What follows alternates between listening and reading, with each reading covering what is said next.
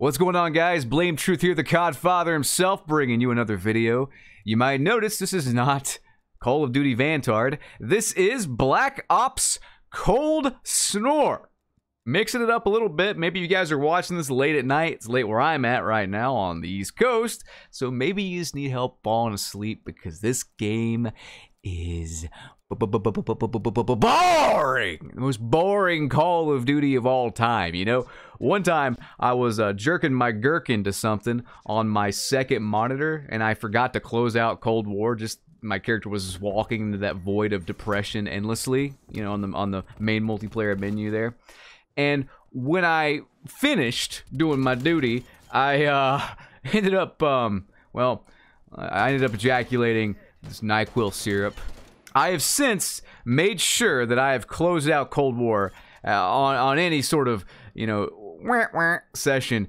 So, but anyway, I'm not here to talk about my anatomy though, and uh, the stuff that comes out of my body. I am here to talk about Call of Duty Vanguard and Call of Duty Modern Warfare Roman numeral 2 2022 2 2 2 2 2 so many fucking twos, man. Just call it Modern Warfare 5. That's what it is. Learn how to count, you fucking morons. Anyway. It's your reboot, BT. It's your reboot. Yeah, how about I stick my boot up the fucking Activision heads assholes? How about that, huh? Learn to count. It's Modern Warfare 5. I don't care if you reboot it or whatever. It just causes confusion forever. Now, now until the end of time, every time I talk about Modern Warfare, I'm gonna have to call it Modern Warfare 2019. I'm gonna have to call Modern Warfare Roman numeral 2, Modern Warfare Roman numeral 2, 2022, whatever. Fuck! Christ! Anyway, I'm not here to bitch about this name number shit all video. Although I could. I could make a 30 minute video probably just talking about how it's so stupid things can't get titled in, in chronological order, but anyway. I want to consult the Vanguard earnings call. I was looking forward to this, right? Vanguard sold like shit. People are saying it's one of the better selling games of 2021 or whatever. Doesn't matter. Doesn't matter. Battlefield 2042, shit the fucking bed. Halo Infinite was free. Still no competition. Doesn't matter if it's the best selling game, if it's still sold like shit. It's like bragging you have the biggest dick in the room when everybody else has a three incher and you've eked out a four. You know what I'm saying? It ain't nothing to brag about. Absolutely nothing to brag about. But hey, I'm just saying, Vanguard sold like shit. I was looking forward to the earnings call because I wanted to see how bad it actually was, but we got fucking bait and switched of course, Charlie Intel says due to the pending acquisition of Activision Blizzard by Microsoft, Activision Blizzard says they will not host a conference call, provide earnings presentation, or any additional details besides a press release for their 2021 Q4 earnings set for February 3rd. I really, really wanted to see them say just like, well, Vanguard didn't do too well, her, her, her, and then make up some statistic like the most played Call of Duty on the PS4 in Bangladesh on a Tuesday at 9:36 p.m. after everyone gets drunk at the local llama festival some stupid ass statistic like that. They always do that. I remember when Cold War came out, they touted it being the best selling digital Call of Duty of all time, which is not technically untrue, but it's just a sign of the times. It doesn't mean anything. It means more people are buying digital games because it's more convenient. We have the space to do it. We have the internet speed to do it now. It doesn't mean that the game sold better than Modern Warfare 2019, which it did not. You know what I'm saying? Stuff like that is stupid. Stupid shit. Stupid PR bullshit. But speaking of PR bullshit, there have been some leaks as it pertains to Modern Warfare Roman numeral 2. I'm just to call it that for short. Too many twos otherwise, right? RalphsValve tweeted out that an IW associate describes Modern Warfare 2's gameplay as most similar to Modern Warfare 2019. Oof. Inclusion of several new and already existing features, vaguely stating there's just more it. He went on to state, I was not too happy with the gameplay. It looks incredible, however. Mm-hmm. You're describing my ex-girlfriend there, all right? Great butt, very pretty, psychotic fucking bitch. Let me tell you a story real quick before I get to the next RalphsValve tweet.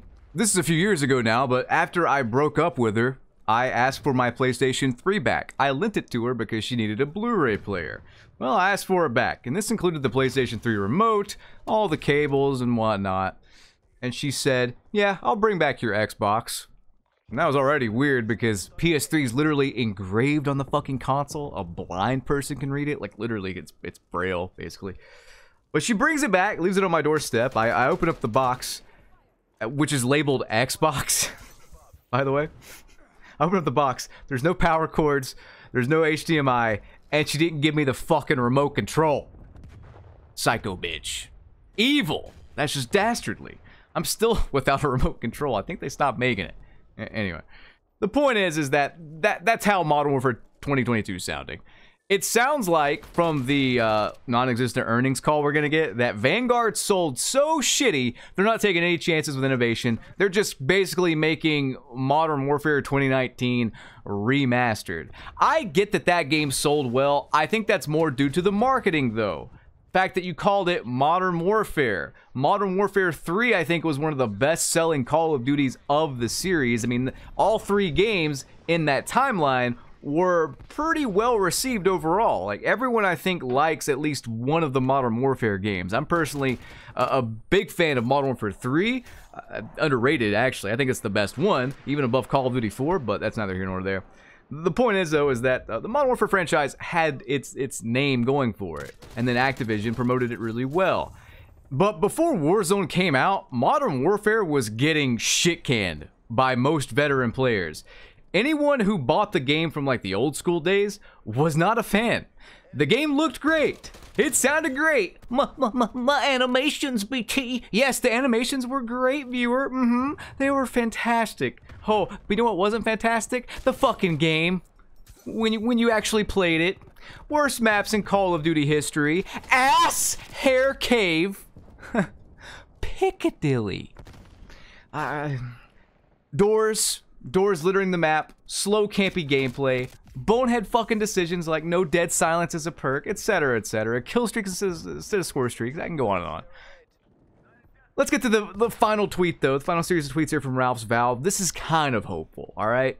I'll insert a comment of my own here. Oftentimes, new facets of movement and systems of play are often picked up and mastered by the players. This is the opinion of a single individual, not attached to QA. By all counts, it'll certainly feel and look new. It's easy to get a sense of what the report entails, however, you'll have to see for yourself once things eventually come out. I'm not going to convince you of an opinion, and although I don't have a screenshot of it, I believe it was Modern Warfare 2 OG that said this was the best, like, most polished Call of Duty we've had in quite a while as far as uh, it being pretty much done. Like it's gonna release kind of complete as opposed to Cold War and Vanguard not releasing complete. In Vanguard's case, it's probably just gonna get worse and worse. terrible devs, terrible devs. But uh, either way, guys, that's the news for today. I'm I'm not too happy with it. I do not want to ever revisit Modern Warfare 2019 again, but it looks like I'm gonna fucking have to. Looks like I really have no goddamn choice at the end of the day. But guys, I'm out of time. I hope you enjoyed this video. And I'm going to leave a, an ad sponsored at the end of the video. Let me know if you guys like this sort of thing, as opposed to it being in the middle. Uh, it's for Atlas VPN. Definitely sign up for their service. Great VPN. Everybody needs a VPN in 2022. It's time you get one. It's going to be cheap. I'll run the ad now. I hope you guys enjoyed the video. And I want to suplex Joe Cecot through an old, crusty, moldy peanut butter and jelly sandwich. Peace out, guys. Today's video is sponsored by Atlas VPN. Guys, I take my online privacy and my cybersecurity very seriously, and Atlas VPN helps me do that. With Atlas VPN, you can stop ads and malware. This is more than just a VPN. It blocks all the malicious links, ads, and trackers and notifies you when someone is trying to steal your data. And if you're worried about speeds, don't be. You can stream your favorite shows and or play your favorite games online with blazing fast speeds no problem. Atlas VPN is the best deal on the market too, and this protects unlimited devices, one subscription and you're covered. And for whatever reason you're not satisfied, there is a 30-day money-back guarantee. And if you want to save even more money, Atlas VPN helps you while you shop. You can get the best deals while shopping online, including online subscriptions like Spotify and Netflix, airlines, hotels, and more. Right now, by the way, Atlas VPN is running a huge discount. It means you can get a three-year subscription for just 139 a month with a 30-day money-back guarantee. Time is running out, so get your deal by clicking the link in the video description below.